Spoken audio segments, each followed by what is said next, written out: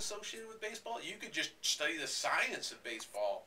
You know, and, you know if if you have to study, I bet you any subject in school, social studies, politics, history, math, uh, you know, language, any subject, you could take a baseball focused approach and say, how does this make me better at baseball?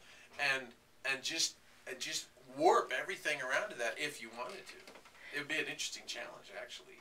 But there's all kinds of mathematics. There's a whole statistics uh, books about baseball and the mathematics of, of crunching those numbers.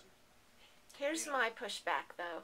Um, what we've done in the past, what we've been doing is people who are trying to change education are trying to fit our passions into the current system. And so like what I'm worried about is him compromising his love for baseball by trying to fit a certain algebra into it. We've got a video, we've got a, a whiteboard right there of we were trying to get this guy who was into skateboarding interested into the math of it.